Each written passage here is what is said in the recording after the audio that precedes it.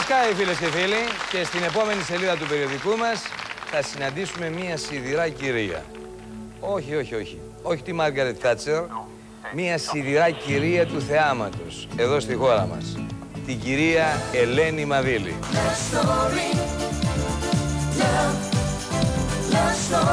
Παρακαλώ πολύ.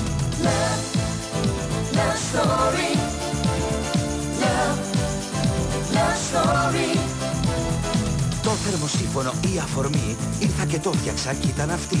Και κυριλάτη και σοβαρή, λίγο ξενέρωτη αλλά καλή.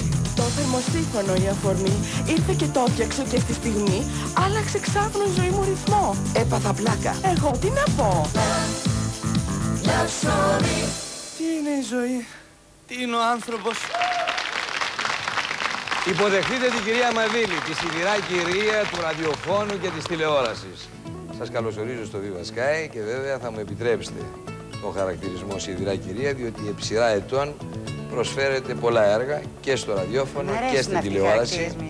Χαρακτηρισμοί. Ξέρετε κύριε Τράγκα... Σας το- πηγαίνει αυτό ας πούμε η σιδηρά κυρία, νιώθετε Α. λίγο θάτσερ έτσι στην τηλεόραση; Ε, Θάτσερ, δεν κάνω εγώ ό,τι θέλω. Κάνω ό,τι θέλω όμως πια στη δουλειά μου, στις δικές μου τις Και αυτό είναι το δουλειές. σπουδαιότερο. Και αυτό είναι πολύ σπουδαίο και το ξέρετε πολύ καλά και από τον εαυτό σας ότι τελικά για να παρουσιάσεις ένα θέαμα ολοκληρωμένο πρέπει να έχεις το πάνω χέρι, δεν γίνεται αλλιώς στη show business. Εσείς αυτή την εποχή αισθάνεστε δυνατοί, αισθάνεστε έτσι κρατεά ώστε να επιβάλλετε τις δικές σας απόψεις μέσα στα κανάλια που αρχίζουν να βάζουν ψελίδι στα προγράμματά τους από πλευράς οικονομικών; Ε, μα ξέρετε, ε, το, το καλύτερο που θεωρώ ότι έχω πετύχει μέσα από τις ε, επιτυχίες που γίνανε, από το Love Story και από το High Rock δηλαδή, που είναι μεγάλες επιτυχίες και που... Μεγάλες επιτυχίες, συγγνώμη που το λέω.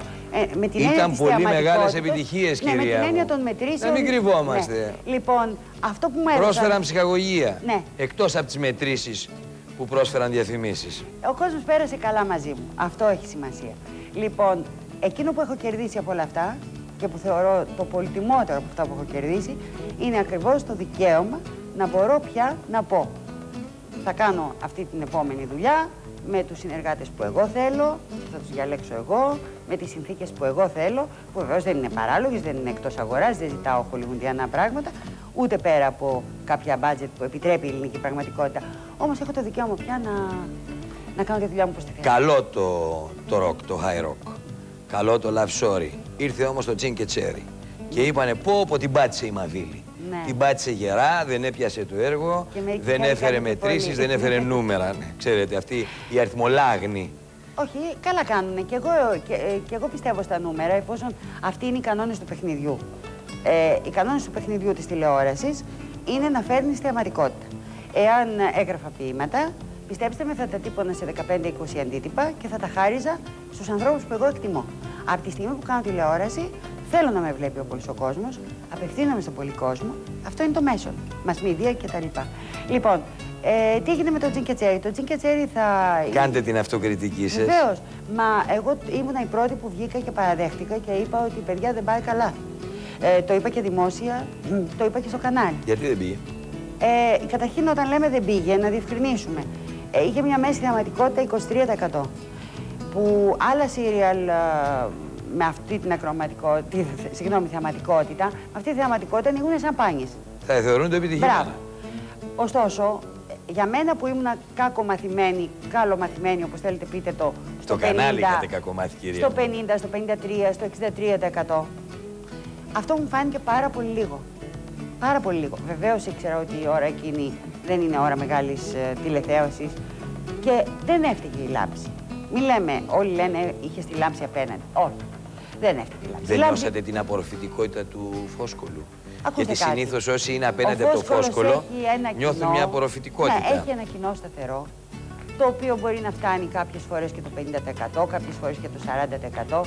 Ωστόσο και το 50% να φτάσει. Υπάρχει άλλο 50% να το διεκδικήσουμε οι υπόλοιποι, που παίζουμε εκείνη την ώρα. Εντάξει; Εγώ αν θέλετε να, πιστεύω, να σας πω τι περισσότερο ε, μου πήρε κοινό εκείνη την ώρα, ήταν η εμφάνιση της Μαλβίνας.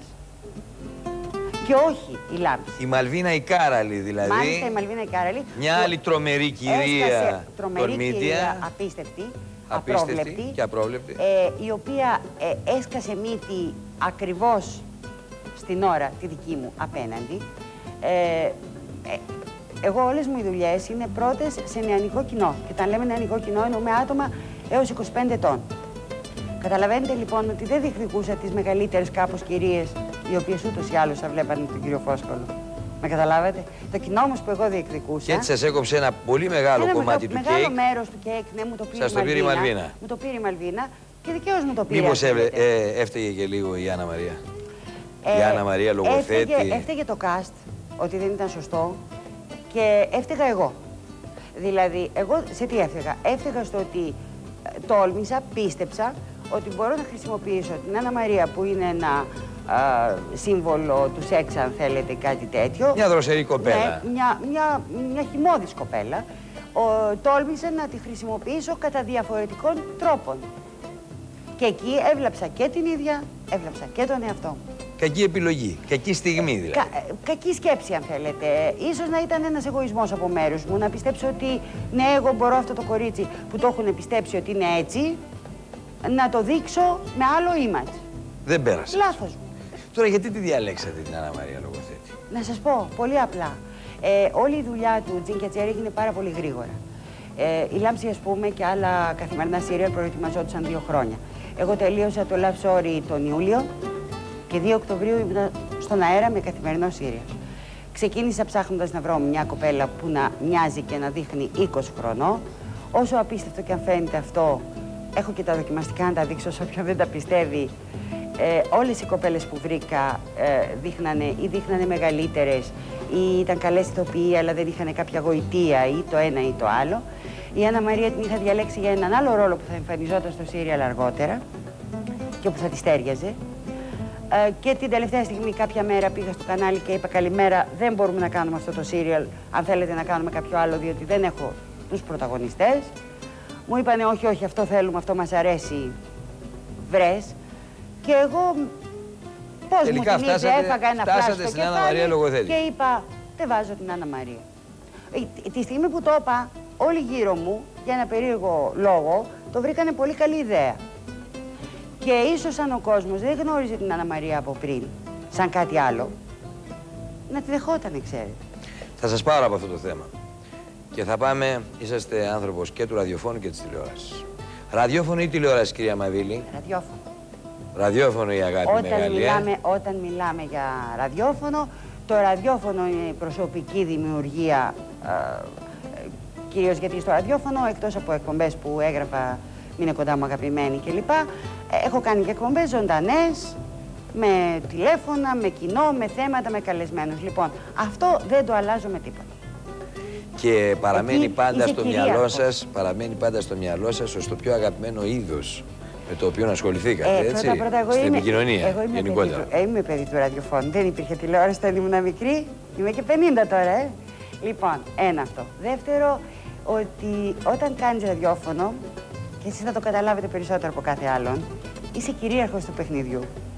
Δεν εξαρτάσαι από όλους αυτούς τους ανθρώπους και όλα αυτά τα μηχανήματα που φαίνονται ή δεν φαίνονται, που ε, μιλάς. Μιλάς σε ένα μικρόφωνο και όποτε θες το κλείνεις και όποτε θες το ανοίγεις και όποτε θέλεις ε, σηκώνεις την ένταση στη φωνή σου ή της, την Θέλετε να κατεβάζεις. πείτε ότι βγάζεις καλύτερα τον εαυτό σου. Βγάζεις καλύτερα τον εαυτό σου, εκφράζεσαι πιο, πιο άμεσα με τον κόσμο. Η τηλεόραση είναι τόσο αμαρτωλή όσο θέλουν να τη λένε. Μια χαρά Είναι είναι. ένα ερώτημα, είναι μια χαρά λέτε. Μην τρελαθούμε τώρα. μια χαρά είναι, μια χαρά είναι. Συγγνώμη κύριε Τράκε, θα μου επιτρέψετε να πω κάτι. Εδώ μιλάμε πολλές φορές. Λες και είμαστε ένας λαός, ο οποίος πριν έρθει η τηλεόραση ήταν όλοι με ένα βιβλίο στο χέρι από το πρωί μέχρι το βράδυ και με την κλασική μουσική από δίπλα. Και ήρθε η τηλεόραση και τους πέταξε την κλασική μουσική και το βιβλίο. Για όνομα Θεού. Να συνέλθουμε. Δηλαδή, λέμε η τηλεόραση α, απασχολεί τους ανθρώπους και δεν, δεν τι. Δεν τι. Δεν Τι τους κάνανε επιτρέπει δηλαδή να πριν; βλέπουν Σέξπιρ. Δεν τους επιτρέπει Γιατί να πριν όλο βλέπουν αυτό Μπρέχτ. Κάνανε. Όλο αυτό κάνανε και ήρθε η τηλεόραση και τους έκοψε.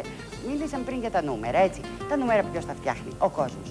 Αν ο κόσμος έβλεπε όπερα ή έβλεπε ντοκιμαντέρ με ζώα ή με δεν ξέρω τι. Δεν θα είχαμε πολλές όπερες έχετε στην ελληνική την τηλεόραση. εντύπωση Ότι τα κανάλια που σας πληρώνουν και με πληρώνουν δεν θα προτιμούσαν να πάρουν ένα ντοκιμαντέρ πολύ φτηνότερο από εσάς και εμένα και να βάλουν στη θέση μας; Σήμερα ακούγονται όμως διάφορα. Δηλαδή πρέπει να γίνουν μεγάλες περικοπές στους προπολογισμού των καναλιών για να τα βγάλουν βέρα. Οι δεμοί πάνε για φούντο, πάνε για Δεν μεγάλα μου χρέη. επιτρέπει να πω κάτι. Εγώ πιστεύω ότι τα κανάλια, αν δεν πήγανε καλά, δεν φταίμε εμείς οι εργαζόμενοι και οι εμφανιζόμενοι ή μη εμφανιζόμενοι εργαζόμενοι στην παραγωγή. Φταίνε διάφοροι τεράστιοι μισθοί, τους οποίους δίνανε σε ανθρώπους που κάθονται στα γραφεία για να ελέγχουν εμάς που εργαζόμαστε. Και οι οποίοι, δηλαδή το κάνανε μικρές ΕΡΤ. Το διοικητικό κόστος Το ήταν αυτό που ήταν διοικητικό μεγάλο. και οικονομικό κόστος ή το αν κάποιος χρεώνει το προσωπικό του ελικόπτερο, την προσωπική του υπηρέτρια και το προσωπικό, την προσωπική του Έχουμε πύλα τέτοια, δεν το ήξερα. μέσα σε ένα κανάλι. Δεν το ήξερα, Βεβαίως, ομολογώ. ε, εντάξει, φαίνεται σαν έξοδο του καναλιού. Μα δεν το κάναμε εμείς. Λοιπόν, εγώ πιστεύω ότι τα κανάλια βγάλανε λεφτά. Τώρα, α, αν τα ξοδέψανε έτσι ή αλλιώς, που δεν είναι δουλειά μας να το κρίνουμε, τα ξοδέψανε. Ε, αλλά η βασική συνταγή της αγοράς, από τότε που εμφανίστηκε η ελεύθερη οικονομία, ήταν ότι αν δεν ξοδέψεις, δεν θα πάρεις. Αν κάνουν φτηνό πρόγραμμα, θα πάρουν λιγότερο κοινό. Κυρία Μαβίλη, εκτός ε, από την επικοινωνία την οποία αγαπάτε πάρα πολύ, από την ψυχαγωγία που προσφέρετε με το έργο σας ως σεναριογράφος, ως σκηνοθέτης, ε, πολιτικοποιημένο άτομο είστε. Όχι πια. Αγαπάτε την πολιτική, την Μεγάλος. παρακολουθείτε. Μεγάλος. Κάποτε ήμουνα. Κάποτε ήμουνα, κάποτε πίστευα σε αυτά τα πράγματα και πίστευα πολύ. Ας πούμε, υπήρξε μια φάση που πίστευα ότι το Πασόκ ήταν κίνημα. Η φάση του 13% του Πασόκ. Πίστευα ότι ήταν κίνημα και ήμουνα έτοιμη να προσφέρω αφιλοκερδός ε, ό- ό,τι μπορούσα. υπηρεσίες σας. Τις υπηρεσίες μου. Είδα ότι προτιμώνται ακριβοπληρωμένες υπηρεσίες από υπηρεσίες προσφοράς. Από τότε, εκεί μέσα, για ένα περίεργο λόγο. Απογοητεύτηκα γιατί πίστευα στην ιδέα του σοσιαλισμού σαν ιδέα και στεναχωρήθηκα πάρα πολύ που σήμερα ο μέσος Έλληνας έχει την ιδέα ότι ο σοσιαλισμός είναι συνώνυμο με την κλοπή, την απάτη του άρπαξε να φας και μαγιά του. Δεν είναι έτσι. Χρηματίστηκε η εικόνα αυτή; Ε, καλά. Η αρχική; Ε, καλά, ναι. Και πολύ σύντομα κατάλαβα ότι δεν είναι αυτό. Ε, ήρθε κάποια στιγμή που ψήφισα τη δεξιά, χωρίς να με εκφράζει. Μόνο και μόνο για να φύγει κάτι που, δεν με, ε, που με είχε προδώσει, αν θέλετε. Ε, αισθάνομαι λοιπόν ότι έχω περάσει πολύ μεγάλη ψυχική ταλαιπωρία ως, ε, ε, ως πολίτης, ως ψηφοφόρος ε, και πια πιστεύω ότι δεν... ε, Στερούμεθα ηγετών μεγάλου αναστήματος. να σας πω τη δική μου άποψη πια όπως έχει διαμορφωθεί. Οι ηγέτες μεγάλου ή μικρού αναστήματος είναι σαν τους ηθοποιούς που καλώ εγώ να παίξουν τους ρόλους που έχω γράψει. Τα σενάρια γράφονται από κάπου αλλού. Ε, τη γη ολόκληρη, κατά δική μου άποψη, τη διευθύνουν κάποιες μεγάλες πολυεθνικές εταιρείες, άτομα που δεν φαίνονται, συμφέροντα που δεν φαίνονται, όσο και αν ψάχνει ο κύριος Τράγκας ή άλλοι στη θέση του να τα βρούνε.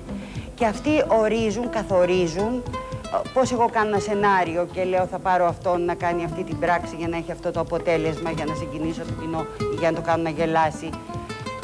Κάπως έτσι Παίρνουν γίνεται. κάποιους ρόλους. Ναι, και δεν πιστεύω εγώ πια ότι υπάρχει... Ναι, του- αναθέτουν κάποιους ρόλους. Τώρα, αν οι ίδιοι στην Και αρχή... εντάσσονται αυτοί. Αν οι ίδιοι στην αρχή, στην αρχή μπορεί να μην το ξέρουν, ούτε καν οι ίδιοι τι ρόλο πρόκειται να παίξουν. Όπως και εγώ παίρνω έναν ηθοποιό και δεν ξέρει τι έχει να κάνει στο 20ο επεισόδιο. Θα μείνετε στο Mega Channel; Θα δούμε. Δεν το ξέρετε. Είστε στη φάση των διαπραγματεύσεων, θα Ε, έλεγα. Ε. όχι, ήμουνα στο Mega Channel 5 χρόνια. Δόξα τω Θεώ πήγαμε πάρα πολύ καλά. Οι άνθρωποι να είναι καλά με θέλουν. Ίσως όμως είναι η στιγμή που πρέπει και εγώ να κάνω κάποια αλλαγή, γιατί δεν θέλω και για τον κόσμο να είμαι ταυτισμένη με κάποιο κανάλι. Κάποτε είχα πει ότι εκείνο που αισθάνομαι είναι ότι είμαι μισθοφόρος, εργάζομαι πάρα πολύ καλά για όποιον καλό εργοδότη μου δίνει και αυτά που εγώ θέλω σαν εργαζόμενο άτομο, αλλά δεν είναι κανένα κανάλι δικό μου, δεν έχω μετοχές σε κανένα κανάλι και δεν θα ήθελα να είμαι ταυτισμένη με κανένα κανάλι. Είστε ευτυχισμένοι στην προσωπική σας ζωή; Νιώθετε καλά; Τώρα ναι, Γιατί λέτε τώρα, περάσατε και δύσκολα χρόνια. Πάρα πολύ δύσκολα πράγματα έχω περάσει και ε, ε, κοιτάξτε, έχω δύο διαζύγια, έχω τρία παιδιά. Αυτά τα πράγματα δεν γίνονται χωρίς... Τα μαζεύει κανείς. Είναι μια συλλογή που ανοίξει τον καθένα μας. Θέλει λίγο η καριέρα για τα δύο διαζύγια; Μάλλον Θέλει το λίγο αντίθετο. ότι ήταν Μάλλον η κυρία Μαδίλη Τα διαζύγια απορροφημένη; βοηθήσαν την καριέρα. Γιατί τον είδες; Να σας πω. Γιατί όταν έχεις ανάγκη από χρήματα για να ζήσεις τα παιδιά σου, αναγκάζεσαι να εργαστείς πιο σκληρά.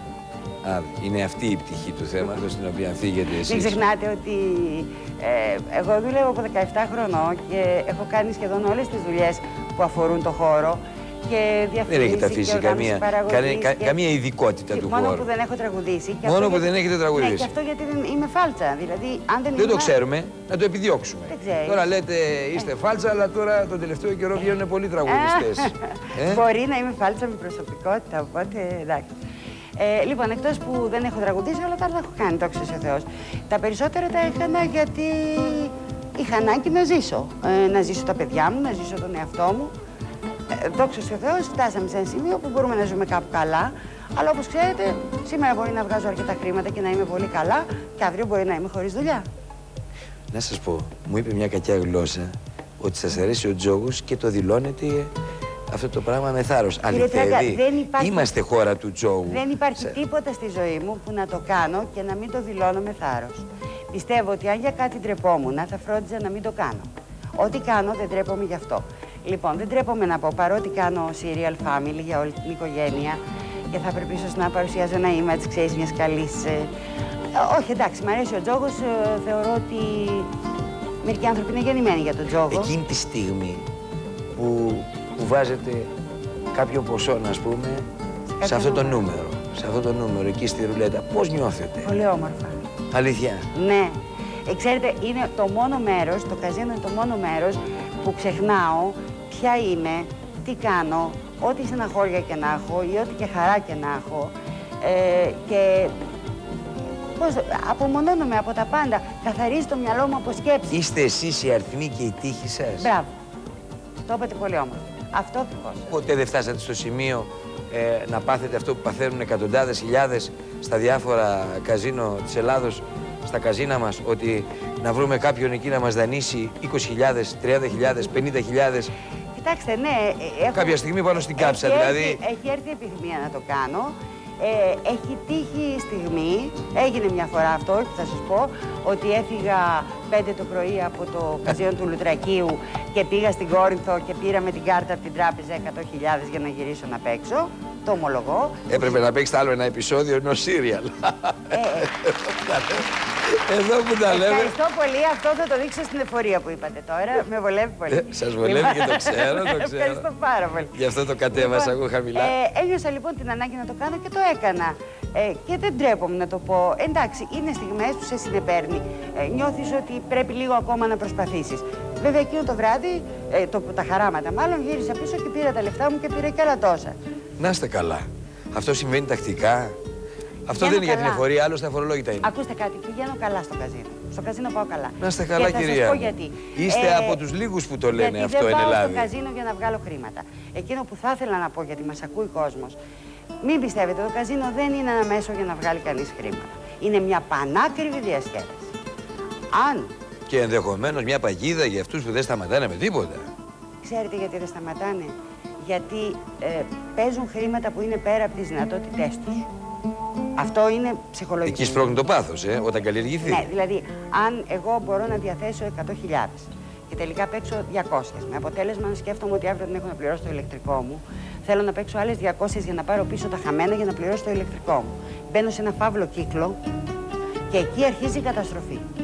Και γενικά η καταστροφή ξεκινάει αν σκεφτείς, αν νομίσεις ότι το καζίνο είναι φτιαγμένο για να σου, ε, σου δίνει χρήματα. Κυρία μου, να σας ρωτήσω κάτι τελευταίο. Θα γράφατε ποτέ ένα σύριαλ για το family, για την οικογένεια, που να έχει μέσα και τζόγο, να Δεν θα- έχει μέσα και ατμόσφαιρα καζίνου; Θα σας αποκαλύψω κάτι το οποίο είναι είδηση. Έτσι. Το καινούριο σύριαλ λοιπόν του Happy End που ετοιμάζω, ο πρωταγωνιστής είναι τζογαδόρος. Στη χώρα του τζόγου, γιατί να μην είναι πρωταγωνιστής ενός σύριαλ. Είναι ένας πολύ γοητευτικός Ένας άντρας. τζογαδόρος. Πολύ γοητευτικός άντρας, αλλά για, γιατί είναι τζογαδόρος; Είναι ένας άνθρωπος ο οποίος... Ε, στα Ποιος δεκ- είναι; Στα, δεν έχουμε βρει ακόμα τον ηθοποιό, αλλά είναι ένας άνθρωπος ο οποίος... Το ψάχνουμε, το στα- ψάχνουμε. Ναι, στα Περίπου πώς το 16 φαντάζεστε, πώς τον φαντάζεστε; Πρέπει να είναι γοητευτικός. Ε, Ναι, Θα ποιος μπορούσα είναι. να σας ποιο- κάνω και μία πρόταση ίσως να τον παίξετε, δεν ξέρω. Σας ευχαριστώ πάρα πολύ, θα τη μελετήσω. θα ρωτήσω εδώ τους υπεύθυνους της εκπομπής. Σας ευχαριστώ που είσαστε σήμερα στο Viva Sky. Δεν με αφήνει, μου λέει ο Βελάνης επάνω από το κοντρόλ. Κυρίες και κύριοι, σε αυτό το σημείο θα πάμε σε ένα τραγούδι και αμέσως μετά πάλι μαζί.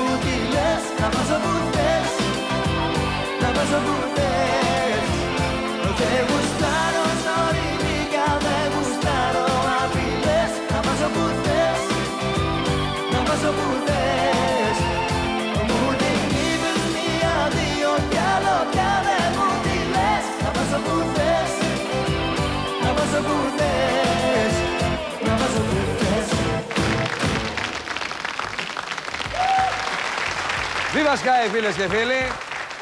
Και σήμερα κοντά σας και αυτή την Κυριακή κοντά σας το μεγάλο περιοδικό του Sky, το μεγάλο περιοδικό της τηλεόρασης του Sky.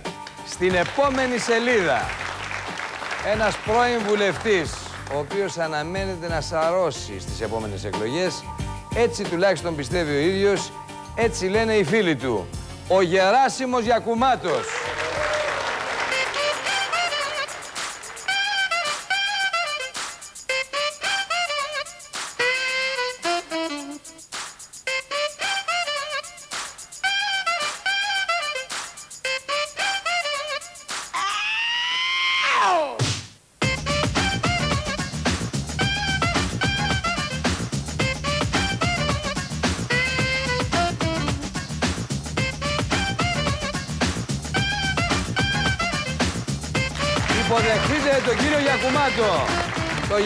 Γεράσιμο, το Κεφαλονίτη.